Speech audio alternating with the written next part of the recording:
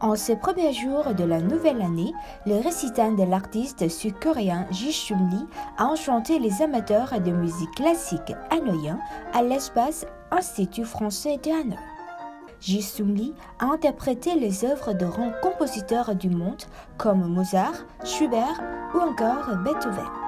Ce jeune virtuose venu de République de Corée est connu pour son talent, sa bonne foi et surtout son amour pour le Vietnam. Il a décidé de venir au Vietnam pour partager les sons mélodieux de son piano avec les amateurs de musique classique de la capitale.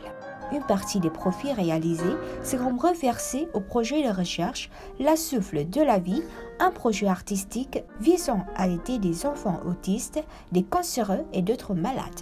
Sung Lee a obtenu de grands prix de renom tels que, entre autres, le premier prix de la compétition de piano en Asie, le premier prix du concours Seoul Christian University Competition, le premier prix du Music Education Newspaper Competition ou encore le deuxième prix du concours national de piano de la République de Corée.